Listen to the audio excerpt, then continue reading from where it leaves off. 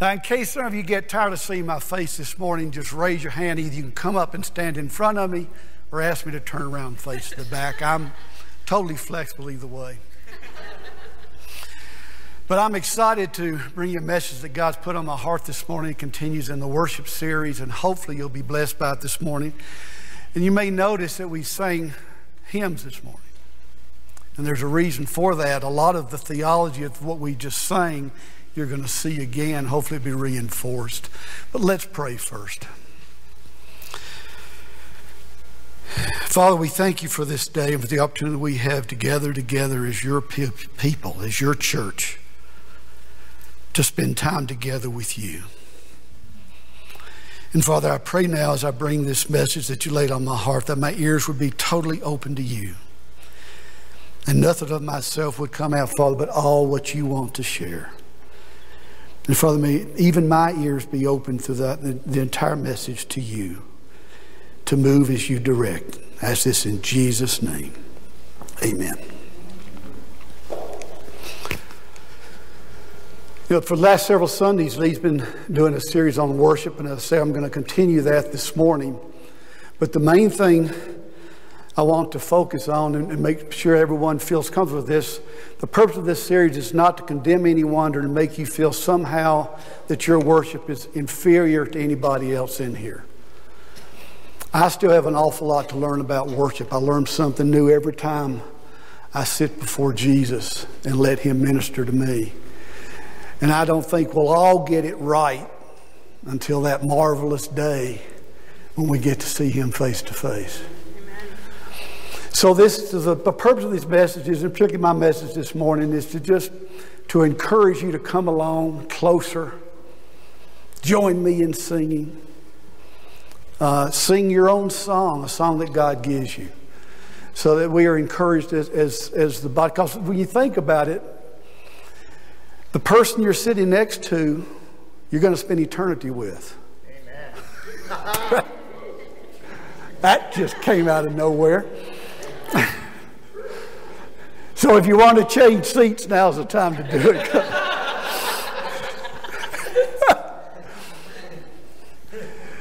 now, I believe that one of the natural progressions as we, as we work out the salvation of our soul as we love Jesus more, as we understand his, his, his love for us more, we understand deeper the, the depth of our sin and why his, his love and his sacrifice is so important.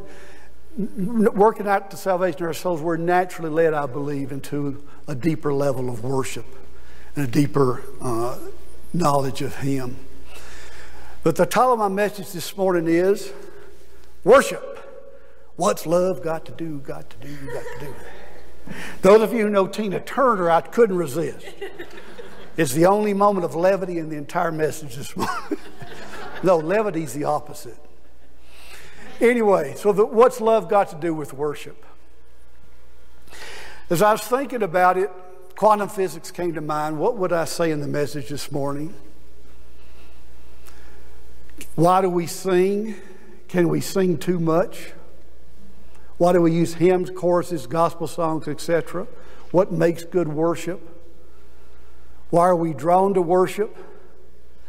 And then how do I feel? How do I know when I've had a marvelous, deep worship experience? But let's get the first rabbit trail out of the way. Does anyone know when the word worship is first used in the Bible? Cain and Abel? Nope. Good guess. Genesis 22. God instructs Abraham to take your son Isaac and go to this mountain, to this place I will show you, and, work, and offer up a burnt offering to me. We see it in Genesis 22 5. So Abraham said to his young men, Stay here with the donkey, and I and the lad will go yonder, and we will worship and return to you. Again, so Abraham obeyed God. He gathered up these two young men, some firewood and his donkeys, and took Isaac, and off they went. And on the third day, they arose, and Abraham says this and used the word worship for the first time. But I couldn't help by thinking, my mind's going off, well, what constituted worship to Abraham at this point in time? We know God said, do a burnt offering, so that had to be part of it. And that's the first time burnt offering, by the way, is used in the Bible, is in Genesis 22. And why did Abraham not allow the two young men to go with him? Did worship to, to Abraham at this time include laying down on his face before God on his body? I, we don't know. But I think it interesting that in the, in the context, of the first time the word worship is used, it had to do with an offering. But I rejoice in Psalm 51, 15, 16, 17. For thou dost not delight in sacrifice, otherwise I would give it. Thou art not pleased with burnt offering. The sacrifices of God are a broken spirit. A broken and a contrite heart, O God, thou wilt not despise. And so the offering that I try to bring as I'm working out salvation of my soul is a broken spirit and a contrite heart. But I'm going to jump the gun. I'm going to go ahead and tell you why I think we worship, at least why I worship. My conclusion is the source of motivation. So if one or two of you feel like you don't want to sit here for a couple hours and be swayed by my conclusive and convincing arguments, then you might be able to skip out. But we will call you out if you do. Why do we worship? I believe in my heart, worship is driven by an understanding of my sin and my love for Jesus who took my sin away. If I don't fully understand the depth of my sin and why his sacrifice was necessary, then what's, why, how can I love him? I just love him for being a nice guy or a nice person. But I need to understand what he died for. And understanding that, then the deeper my love for Jesus, the deeper my worship. So, what's love got to do with it? Some of you may have seen a series on Christianity that Andy Stanley recently did. He's the son of Charles Stanley, that well known preacher in Atlanta. And Andy has a ministry in the Atlanta area. And he did this series. It followed actually uh, Saturday Night Live Saturday night for about eight weeks, and he still got another series going. Now, I thought it was excellent. And the, the, the, motivation for the message, I believe, there are a number of people now that are becoming disenchanted with the term Christian and being associated with people we call Christians and Christianity as a definition. And so Andy was making the argument that because Christian is not defined in the Bible, Jesus never called his disciples Christians or his followers Christians that we are free to define Christianity or my Christianity any way I want to, based on my theology or my beliefs, uh, my lifestyle, my point of view, whatever I decide I, I, meets my definition of Christian, I can do it. And one of the reasons that Christianity is, is, or the term is somewhat out of favor now, in the name of Christianity, crusades have been uh, conducted. Slavery was justified. And even in churches today, you see that their condemnation of a lifestyle, condemning not just only the, the conduct, but the person, is a common thing. If you don't believe the way we believe, then you're going to hell.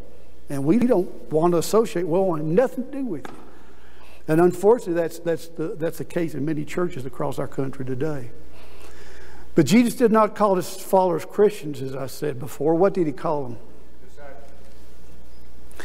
In John 13, Jesus says, A new commandment I give to you, that you love one another, even if I have loved you, and that you also love one another.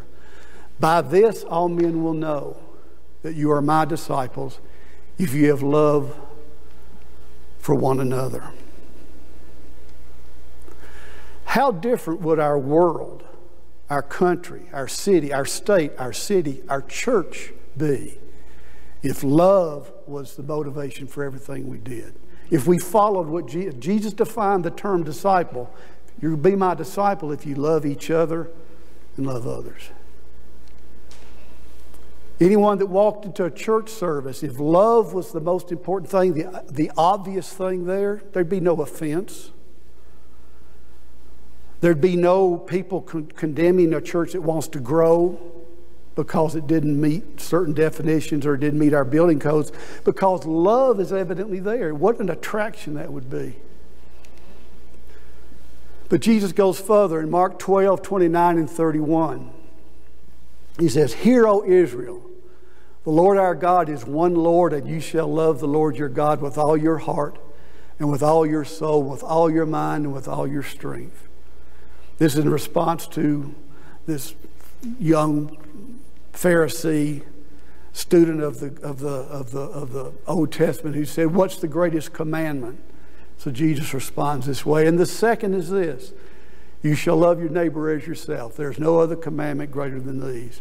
Again, it gets back to the theme of love. If we're truly loving one another, if we truly love other people, then our conduct towards them would be entirely different. We wouldn't see the things that we find offensive. We wouldn't see the things that maybe disturb us. We would see someone who needs Jesus. And then in John 14, 15, verse 15 and verse 23, if you love me, you'll keep my commandments.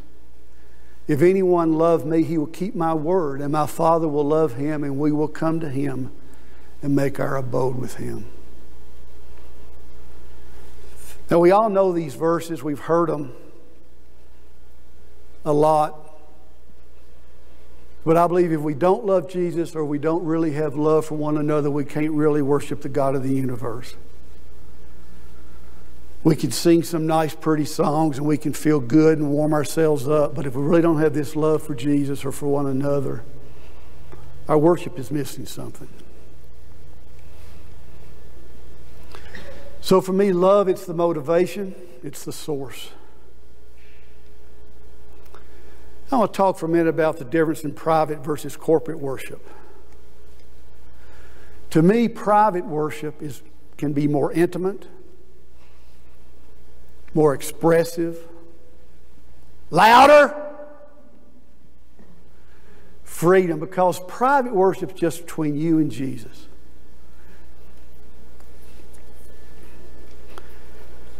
And I find myself, as Lee mentioned last week, many times I've, I've shared this story. I put my gospel CD, I've got 10 of them that I put in a stack there in order. And when I pull out of my driveway to head to Tennessee, first one goes in. And before I know it, I'm in Salina, Kansas. And I don't know how I got from here to there, unless I have to make a pit stop along the way. But, but you can lose, you can lose yourself totally in private worship. Holler and scream and cry, whatever the Spirit leads you to do, is the freedom to worship in private. But corporate worship, by its nature, needs a little more restrained. We can still have intimate worship, but in our worship service here that we just had, you might have an unsaved person or a person that's new to the faith who may get freaked out by some manifestations that, that are biblical, and the Spirit says it's fine to do. But Paul uh, cautioned us to be, make sure your services are orderly. And so we need to be somewhat cautious, a little more laid back or uh, restrained in our corporate worship. I think the other, the other reasons for corporate worship is to increase the fellowship among the body, to increase our faith, to be an encouragement to each other, to hear words of prophecy, to minister to each other, and, and, and acts of healing and so forth. Number of things can happen in corporate worship. But it's a little different than private. And I'd encourage you, if you're not, if, if anyone's not doing enough private worship, get into it. It's a marvelous way to spend some time, and time will go past so fast. Other reasons to be cautious in corporate worship is that sometimes excessive uh, displays can be unsettling to. And I've attended a church once.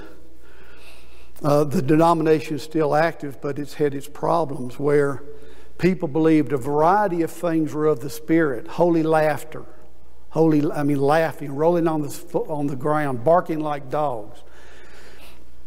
They read a different Bible than I do.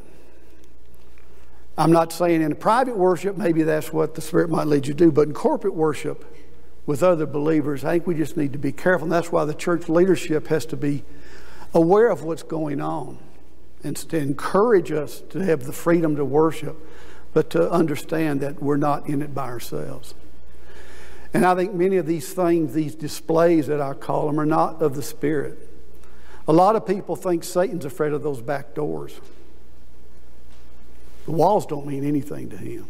He's more than happy to come in and disrupt someone trying to get to know Jesus. Lee has provided some direction in how to prepare for worship. Last couple Sundays, he's done that. Now, I want to look at some ways in which we worship. Why do we sing? I can make that a question. I'll, I'll, anyone want to venture guess? Why do we sing? If you want to kill 30 seconds to hours, do an inquiry on Google of why do humans sing or what. It's, ama- it's amazing what you'll find. And there are a lot of what are, are deemed scientific studies. You know, and, and there's deep, I mean, there's deep thought in this. At the end of the day, no one knows. I think as Christians we know, we'll talk about it in a second. But I was, as I'm thinking about this, said, what do you think motivated our, one of our early ancestors to sing? Now, it might have been a beautiful sunrise or sunset, flowers or some scenery, a waterfall or river, I don't know, or perhaps an attractive member of the opposite sex that just spontaneously, never heard before on the earth, the song erupts forward in pure joy. I don't, I don't know if you've got a good one, an explanation that works for me too. But no one knows why we sing. I get back to what, now I, don't, I forget whether it's Greg or Jim, but to me it's a creation vibration. I believe that what Genesis says that God spoke, through Jesus spoke this universe into creation, and that his, the vibration of that creation still exists. Uh, physicists believe it's still you can still find it in stones, and the only way to change that is to change the vibration of the stone, which you can do by speaking to it. And so I believe God created song, and our bodies are, as quantum physics, which where we come back to quantum physics, have determined the smallest particle which our bodies are composed of are vibrating. And I believe I said this before. I think the reason why certain songs are acceptable to us and others might not be is they, they're either in sync or not in sync with the vibration of our bodies. So I believe God, God, God gave us singing, He gave us songs, He created this vibration that we, we generate by the sound of our voice, by setting the, the air in motion. And we see in Exodus 15:1 the first time that the word sing, sang, and sung is used. And the children of Israel has just been delivered across the Red Sea. The, the waters were parted. They've come over. They're on the other side. The Egyptian army has been wiped out. And Moses leads the people in singing this song. I will sing to the Lord, for he is highly exalted. The horse and its rider he has hurled into the sea. The Lord is my strength and song. They called God's song and he has become my salvation. This is my God, and I will praise him, my Father's God, and I will extol him. And he goes on for 17 more verses and ends in the Lord shall reign forever and ever. Now, I couldn't help but think, as long as this is, how long did it take Moses to teach the children of Israel to sing this song? Because I know how long it takes y'all sometimes to teach, to teach you a new song. You had a lot more people out there. That's true, a lot more people. But I, I just found it, it, it marvelous that having been understanding a little bit about salvation, have been set free, having watched the Egyptian army get swept away, their first thing they wanted to do was to worship God, to praise Him in song. And this is the first time we see song in the Bible. Then there are a number of, of verses. Some people say they're commands. I say there were more instructions to sing praises to God, sing praises. And you could almost list all 150 Psalms if you wanted to. to but in the interest of time, I said I wouldn't do it this morning. But then we've talked about this a number of times before too. Why are we hesitant if we're instructed to sing and song and, and worshiping God is such a an expressive uh, activity? Why are we hesitant to exhibit biblical displays of worship? Why do we stifle the Spirit's prodding? Sin makes you stupid. We're stupid fear. You know, that thing about church culture and the church of my youth, I still, my mother still attends the church that she and my father first visited in 1948. And it's the church that I grew up in, and I'll still, when I visit my mother, we'll go, we'll go there, we'll attend there. It's changed a lot over the years. But one thing that hasn't changed is even yet today, when I go to worship service there, you rarely see anyone raise hands. It's just not culturally acceptable. More and more people, you, you see occasionally, because they, they're, they're new members, they've transferred in from some evangelical church, they hadn't quite got the program yet, and they'll kind of raise their hands. And what I find interesting, and I love the spirit of it, people know they should be doing that, but they don't want to do this because some old man or old woman will come and say something to them, so they put their hands down here. No one, they, they're lifting their hands, but no one can see them. And I find it interesting, and, and I, because of that cultural uh, aspect of what's acceptable not in worship, I feel my worship is stifled there, although I can still worship to the songs and marvel in the music and so forth. Proverbs 29 25 says, The fear of man brings a snare, but he who trusts in the Lord will be exalted. So, this fear of man, this fear of being too much movement, too much responding to the Spirit within the culture and, the, and the, the, what's, what is acceptable in a corporate service. We say, Well, I don't want to do that. I'm, I'm more concerned what someone will think about me. They might think I'm weird and I'm really out there in left field. And, wonder what kind of church service I listen to when I'm not listening to Lee and what kind of music I listen to when I'm not in church. In Isaiah 51 12, 13, we see again, I, even I, am he who comforts you.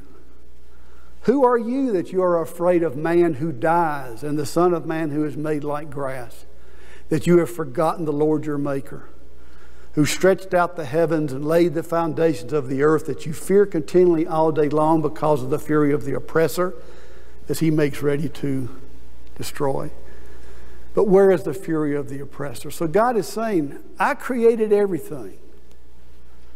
So why are you afraid of a little old man who's making a lot of noise? Respond to me.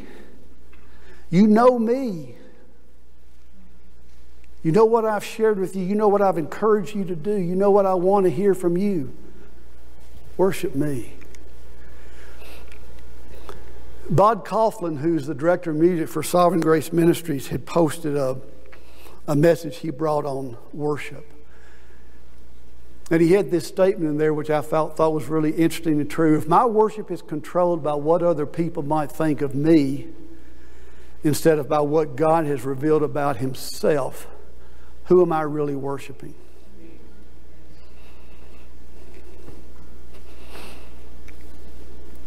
Again, if we understand the depth of our sin and what it was Jesus has done for us, and we have a friendship with Him, a fellowship with Him, and we're sense His presence while we're worshiping, we should respond the way He directs us to. Paul says in two letters, which I've used in a number of times, he says this, but in Ephesians 5 18, 20, do not get drunk with wine, for that is dissipation. Dissipation is kind of debauchery or frivolous activity. It's a waste of time, is what dissipation is, dissipate. But be filled with the Spirit, speaking to one another in psalms and hymns and spiritual songs, Singing and making melody with your heart to the Lord. Always giving thanks for all things in the name of the Lord Jesus Christ to God, even the Father. So again, Paul's instructed us sing together. Why do we use psalms and hymns and praises and worship choruses, spiritual songs? It's been part of the church history. And in Colossians 3:16, well, more important than church history, because what Jesus, I think, wants to hear. It's a way in which our bodies, we can create sounds and noises and expression that you can't in any other way. Colossians 3:16 let the word of Christ richly dwell within you with all wisdom teaching and admonishing one another with psalms and hymns and spiritual songs singing with thankfulness in your hearts to God. A key word in here that I had not picked up many before was admonish. So, in our corporate worship, where we're increasing the fellowship among ourselves, encouraging one another, and so forth, through the words, not through me, but through the words of, of psalms, of spiritual Psalms, and so forth, we admonish people. And I, I don't know how many times I'll, I'll pick up on a lyric that I've, I've maybe been singing for 60 years and suddenly, out of nowhere, bam, whacks me upside the head.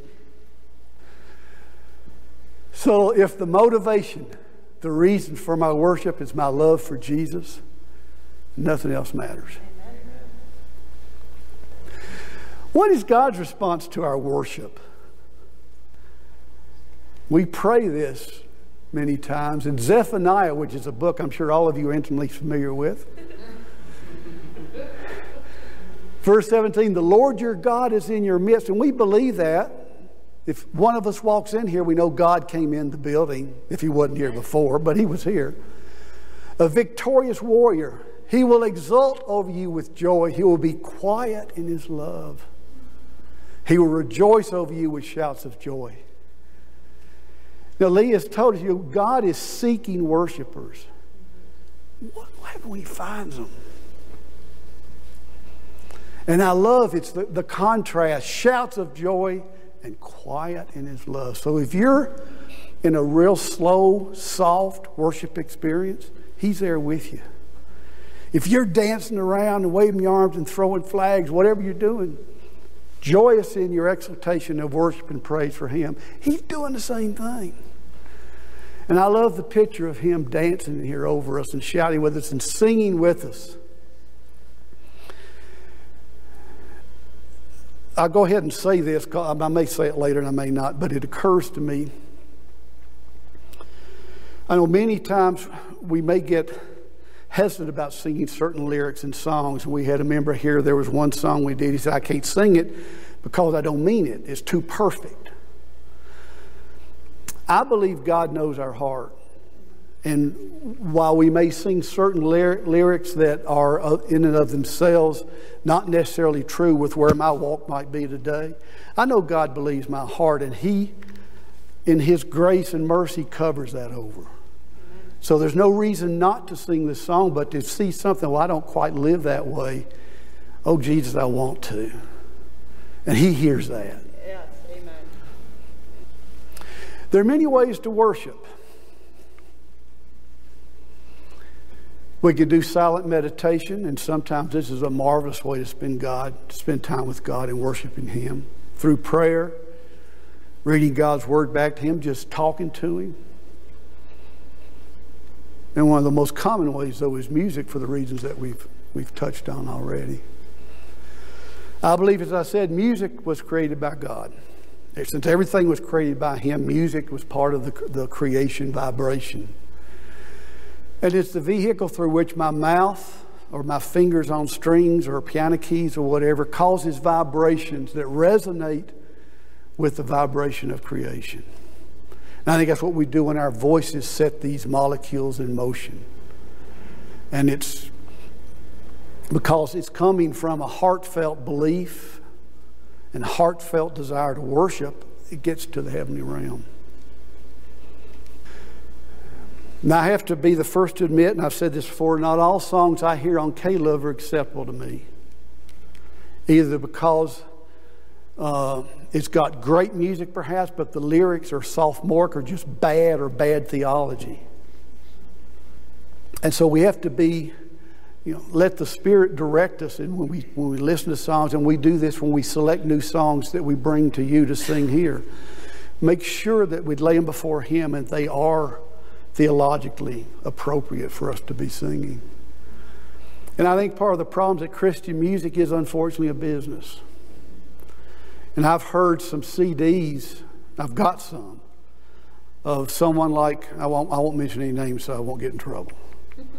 But well known worship leaders, they've written marvelous songs. I mean, marvelous, spirit led, wonderful songs. And then a CD comes out and it, and I believe it's because they have a contract that says you got to give me so many CDs in a period of time. And so they write, the, the music is not inspired, the words are not inspired. You can, they say the first three words, you know what the rest of the song says. And I'm not saying people can't worship to that, but I don't, that's not what attracts me. So, why do we use hymns and choruses? In case some of you know, I had to use one Greek word in the message this morning. so, so I get my A. Hymn comes from the Greek hymnos. I'm actually going to use two words so I'll get extra credit. Comes from the Greek hymnos, which is just simply a song of praise. Now, have we seen music's been part of worship since Moses? Many of the original, many of the original hymns and many hymns that we sing today are based on psalms. In fact, I don't know that the church, but there's one church. If the hymn is not a psalm, they won't sing it. The only songs, the only thing in their hymnal are the 150 psalms put to music or a chant or something. There hasn't always been congressional participation in the singing or music of the church, especially in the early church when many people couldn't read. Uh, so you had the monks singing, or there'd be some choir that would sing. And they did chants and choral music. Another story time. Old time church service, and you can still run into this. When I was growing up,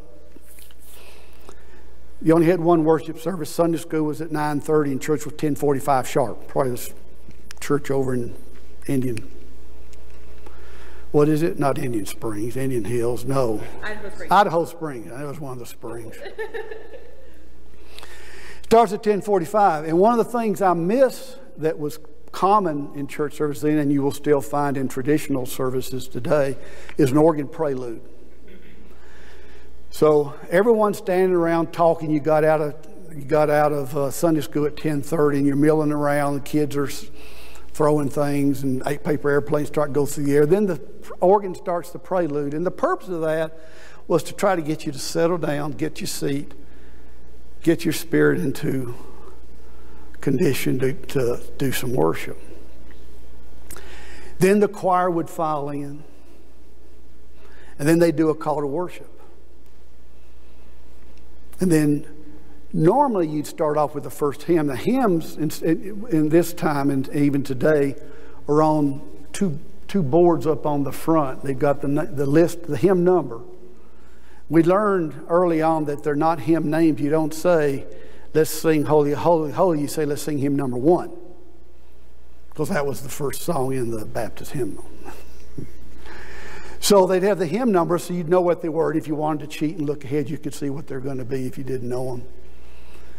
And then there'd be announcements and welcome thing like that. Then there might be another hymn, and then there'd be some other announcements, talk about Sunday school attendance and so forth. And there'd be the offertory, and the choir would sing. Then the preacher would preach, and then there'd be a, a call to a, a hymn of invitation, and that was it. Now, I don't remember ever worshiping as a kid. I sang pretty songs, and many of the songs I love to sing now that we sang this morning. I love to sing. And I love the harmony of it, and I loved, I loved doing it, but it really wasn't worship, it was just singing a nice song because it was so structured. And the only time I can remember anyone in the whole congregation, and would include my mother particularly, who would get animated and excited about anything was if that preacher dared preach more than 15, 20, 25 minutes and you were not out the door at 12 o'clock sharp. That preacher, what's he thinks going on? We got chicken to fry, we got restaurants to go to, we got stuff to do. How many memories is this bringing back? And it's sad, but this that still is, is true in a lot of churches today. In my visit in North Carolina last last year, I, th- I shared this. I think one of the churches I wanted to visit was uh, the First Presbyterian Church of Wilmington, North Carolina. And the reason for it is most of my cousins in Virginia are Presbyterian. I've got nothing against Presbyterians. But I was born in Staunton, Virginia. Woodrow Wilson was born in Staunton, Virginia. And while I'm not a big fan of Woodrow Wilson for a variety of reasons, his father was the preacher at First Presbyterian in Wilmington, North Carolina. And Woodrow spent two or three summers there as a young boy swimming in the river. So I just wanted, from a historical perspective, to visit the church. And it was, it was marvelous. The place was packed. Everyone was wearing suit and tie. I mean, it, you talk about tradition, it was traditional church. But the hymns that they sang, and the, and music was, and the choir was in the loft up there, but they faced each other, not the congregation. And it was nice to sing the songs, and the message was nice, but it was really too, it's too, too formulaic. I don't like. I don't think I'm better than they are because they worshipped and they had. It was obvious that people attended there because God is there and doing things through that church. But the way I desire to worship now is different. So that's an old time church service, and I like what we do better. Can worship be too long? No. Can we sing too much? One of the things I most enjoyed, you don't see this in, in a lot of churches today, is the way we do it, where we have a, a, a time set aside for worship. The problem with if you sing a song, do something, sing a song, do something, sing a song, do something, someone who really desires to worship may not get drawn into it, and the song's over before you know it, especially as Lee mentioned last week, you sing the first, second, last, first, third, and last, or first and last. And so, at least the way we do it, and I know, you know we don't expect you to stand the whole time. You do what the Spirit leads you to do. But if you don't get wrapped up in the first song or the second song, you know there's going to be time. And, and, and, and for people that can get into it right away, it's a marvelous time of worship to just spend time. I hate for it to end. I hate for the sense of the spirit of that's on this place when we finish worship to get broken by what we did today, even with the offertory. or a message. Can we sing too much? No. There was a, I forget now where the church was, but a, a, a, couple had visited a church and they were talking to the preacher afterwards. And the preacher said, oh, How'd you like it? The guy said, I won't be back. And the preacher said, Why? He said, Y'all sing too much.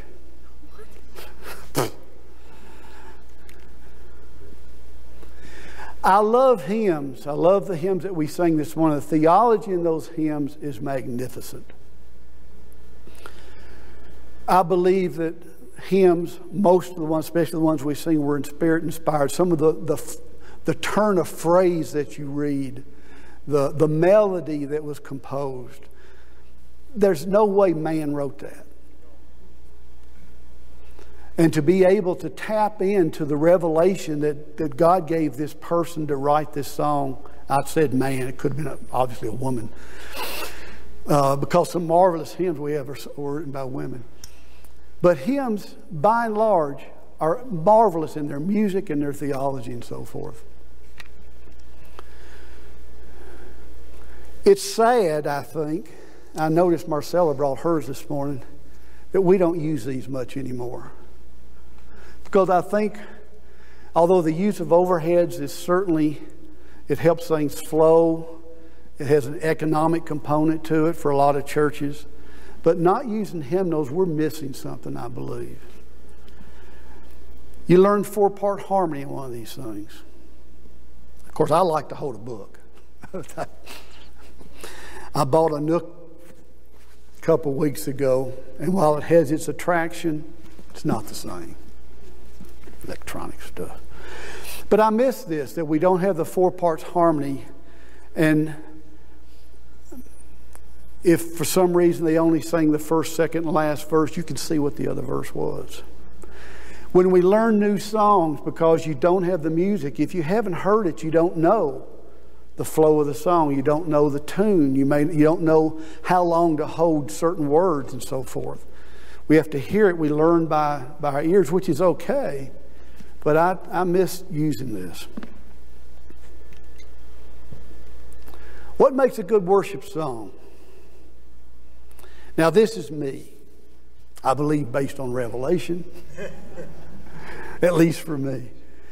It needs to have a pleasing melody for me. It doesn't have to be in a major key, major where the chord progressions are all nice and, and so forth. Minors can be a little disconcerting from the time. I love a song though where, where the minor and major is like low in the grave he lay. It starts off in a minor key, so it's kind of like a dirge or a lament. But then up from the grave and it switched to a major key and the whole thing changes. It's a marvelous song. But it needs to have a pleasing melody. Many times I will get a CD and, I, first thing I do is I, preview the songs. And if a song doesn't, either because the introduction to me is discordant or something's messing about it, if the melody doesn't hit me first, I just pass over it. But many times, either weeks or months or sometimes years later, I'll have an opportunity to listen to a song I'd passed over and say, wow. And I brought many songs in that way that we didn't pick up the first time but sometime later, either perhaps, praise the Lord, I have matured and I learned something, and there's something about that song. But for me, it needs to be a pleasing melody, theologically sound lyric, we talked about, spirit inspired. This is why I think there's only one hymn, and I can't remember the name of it, only one hymn we do, we don't do all the verses. And there's a reason for it. And it, to me, it was because that whatever that verse was, it didn't seem to fit, or it, someone had added it. It didn't. It didn't make sense in the song. But I decided when we started doing hymns here, and I became your worship leader, we'd sing every verse, because I believe if it's inspired by God, then we should hear everything. And as Lee said last week, when you skip verses, there many times is a point about this that you need to understand before you get to that last verse that you miss. It's what I'm, I can not believe I didn't know there were more than four verses to Amazing Grace. But to have found those two additional verses makes that last verse so much more meaningful. And to me, uh, what makes a good worship song is easy to learn and sing. My heart soars when one of y'all come to me one Sunday and said, That song we sang last week, I've been singing it all week. Because I know that Jesus had a reason for that song. And music, many times, is what we can use to lift ourselves out of a difficult day, or someone cuts us off in traffic. Instead of getting all bent out of shape, sing a song. Music, because of theology in, in, the, in the lyrics, we can use to witness to people. Many times I can record the words to a song, but I can't record the verse per se, uh, verbatim. Last week, Lee discussed the importance of lyrics and how we should be aware of what we're singing. And this is true for me every time I sing a song. Because it, it's never about just singing words. So I'm going to spend some more time on lyrics. I could have done the whole message on just lyrics or on Bible verses. But I want to show you what, for me, how I get drug along sometimes in, in things. I was watching a Gaither um, reunion video. He did a special on the Crabb Brothers. I didn't know the Crabb Brothers. I still don't know the Crabb Brothers. But they're three brothers. They have marvelous harmony. When they sing together, you know they're family, and they, are, they, they, they, they do songs so well. And they did this song it's a praise song. It's, it's for encouragement. The purpose of the song is to lift each other up, to feel the love of Jesus, and to share the wonders of heaven. We did that song this morning. Shall we gather at the river where bright angel feet have trod, with its crystal tide forever? flowing by the throne of God. This is an encourage, it's, this is, it's a praise song, but it's also encouragement. It's one where we're singing to each other in the body. Shall we gather? The answer is yes, we're going to, but shall we? Let's do it now. Let's don't wait. Put our arms around each other. Let's sing this song. But what I love about this, it comes from Revelation 22 1. And he showed me a river of the water of life, clear as crystal, coming from the throne of God and of the Lamb. Two things about this I know for sure. Number one, I don't know how clear crystal is. I can only imagine when John saw this, that's the best he could come up with. It's better than that. Our understanding, we can't get there. Same thing, what's the water of life? There's a that's a turn of phrase you don't see. And so this song was written from that on the margin of the river, washing up, I say wash. There's an R there. Thank you. Thank you, Jesus. Washing up its silver spray. We will walk in worship ever, all the happy golden days. So, again, as an encouragement, as, as, a, as a body of believers, let's gather and we're on the margin of that river with its silver spray. We're going to walk and worship. Ere we reach the shining river, lay we every burden down. Grace our spirits will deliver and provide a robe and crown. So again, we're thinking by the time we get to that river, our burdens are going to be gone. How marvelous is it going to be? And grace has delivered us. Soon we'll reach the shining river. Soon our pilgrimage will cease. Soon our happy hearts will quiver with the melody of peace. Can you see your heart quivering? What a marvelous turn of phrase. Quiver with the melody of peace. And then the chorus, yes, we'll gather at the river. It's a known fact. We know because we know because we know. We will gather at that river. The beautiful, the beautiful river. Gather with the saints at the river that flows by the throne of God. So when you look at this song, this is I hear this song so much differently now than I did the first time I ever saw it as a kid. It's a marvelous song. It's a marvelous hymn of encouragement to the body. Worship songs, they're for praise, joy, lament, inspiration, encouragement, prayer, worship, prophecy, healing. Everything that God can do, He does through worship and do through worship songs. Now let's look at the lyrics of I can't say it's the best love song ever written, but if it's not the best, it's certainly one of the best. My Jesus, I love thee. I know thou art mine. For thee all the follies of sin I resign. I know the depth of my sin. My gracious Redeemer, my Savior art thou, if ever I love thee. My Jesus, tis now. I love thee because thou hast first loved me and purchased my pardon on Calvary's tree. I love thee for wearing the thorns on thy brow, if ever I love thee. My Jesus tis now. What did he go through to pay for my sin? To be my Redeemer and my Savior. I'll love thee in life, I will love thee in death. And praise thee as long as thou lendest me breath. I'll breathe only because he's thinking of me. And say when the death dew lies cold on my brow, if ever I love thee, my Jesus, tis now. In mansions of glory and endless delight, I'll ever adore thee in heaven so bright, and singing thy praises before thee I'll bow. What a glorious what to look forward to if ever I love thee. My Jesus, tis now. Now, since Lee pointed this out last week, I had to discuss it.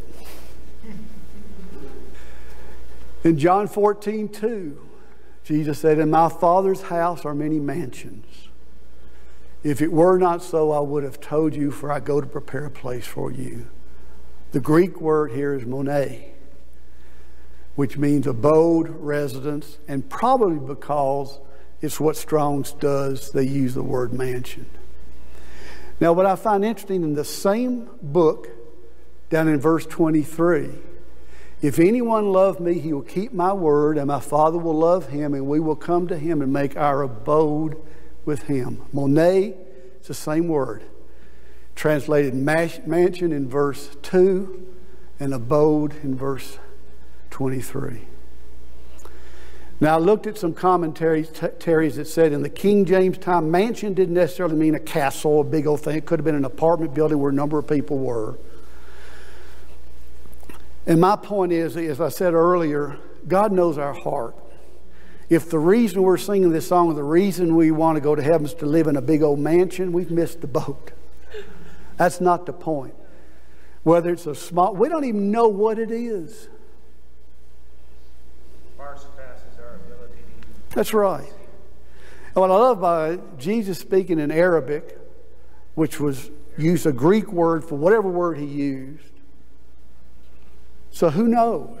But the, but the, the point is, we're going to live with him. Amen. Whether it's a tent, I don't care just to be in his presence is what's important.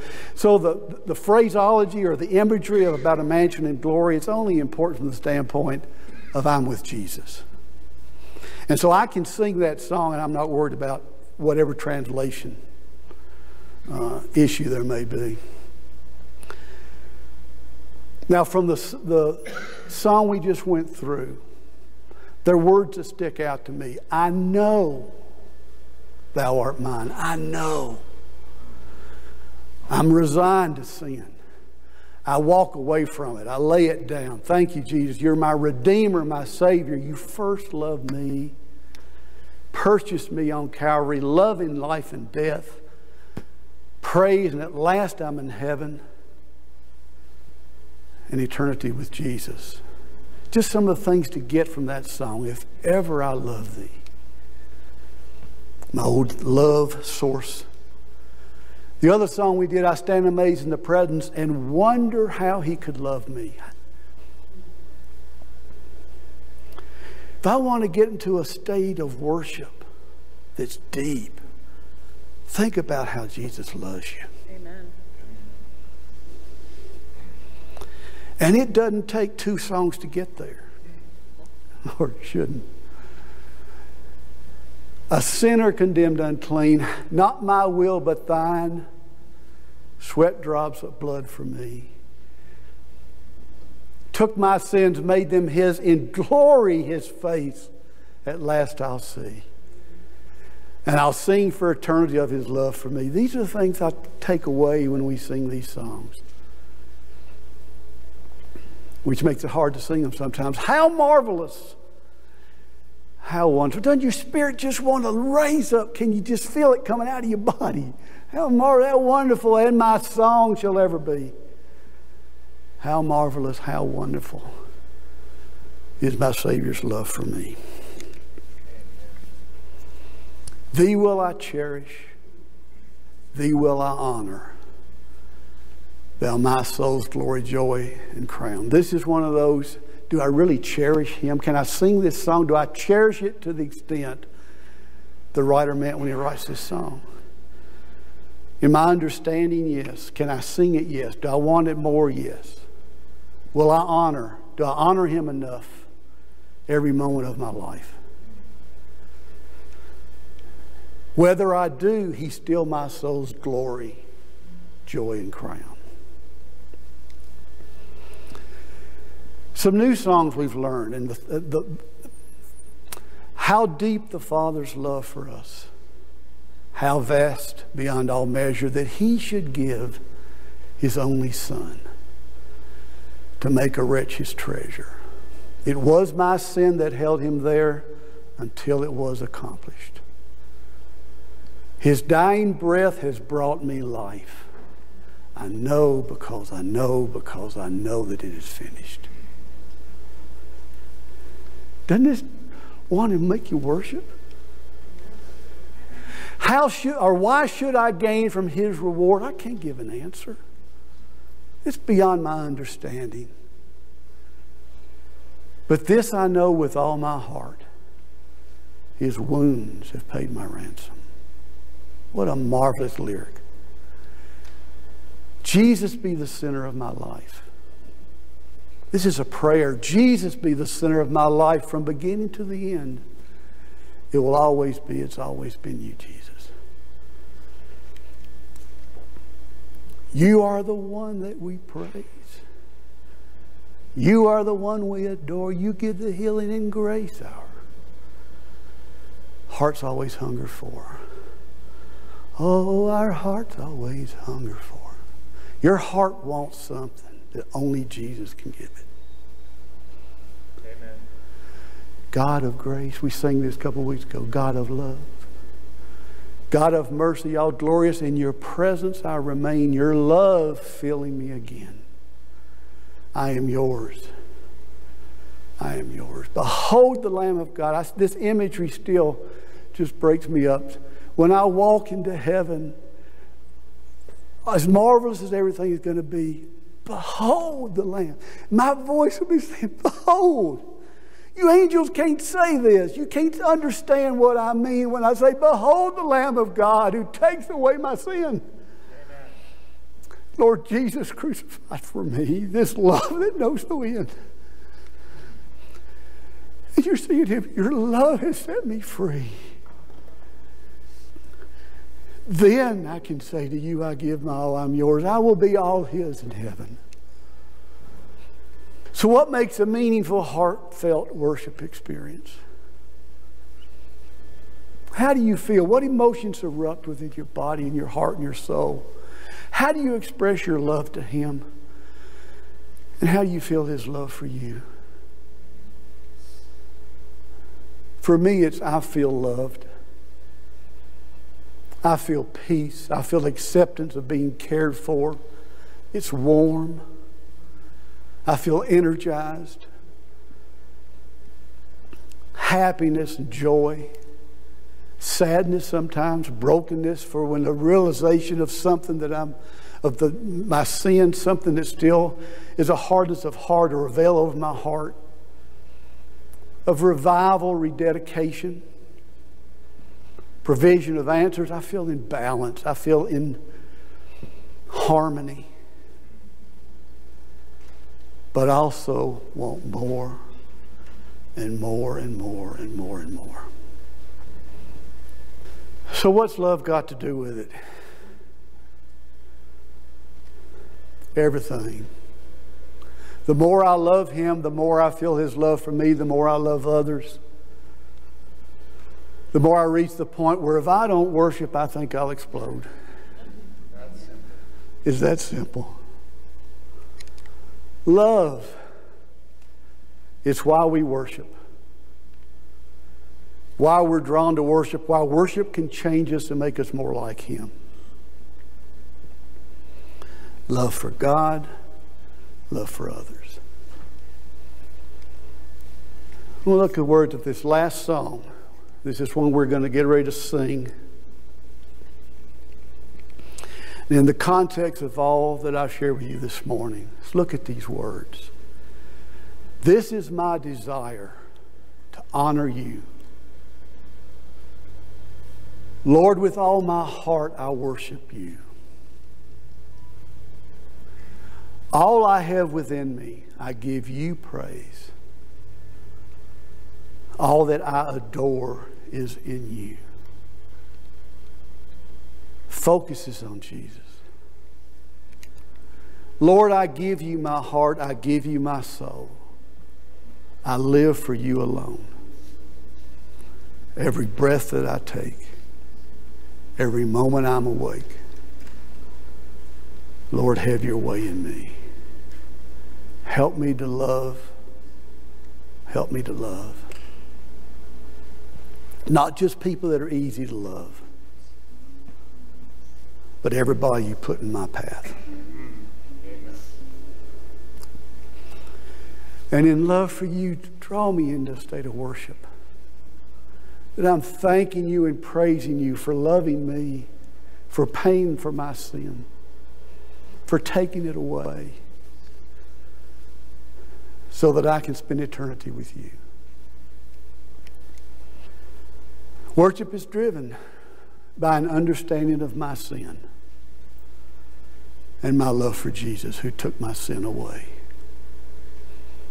the deeper my love for Jesus, the deeper my worship. As the worship team gathers, I'd like you to just sit quietly for a moment. Bow your heads and close your eyes. Think about His love. Think about why you worship and in, in, in encompassing that, how you want to sing this last song to Him.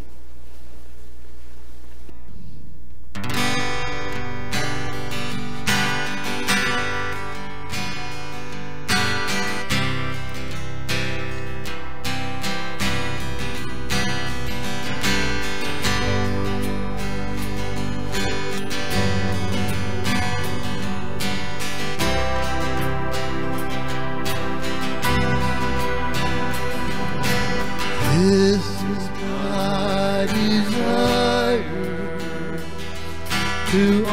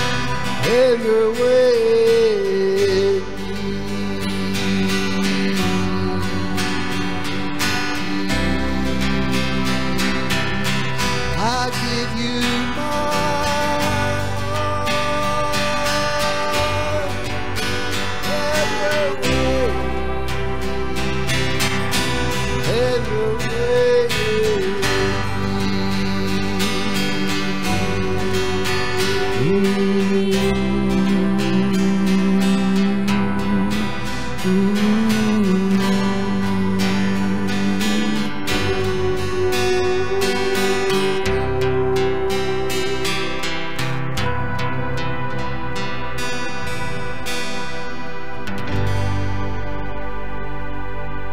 Oh, Father, may that be the cry of every heart. That more and more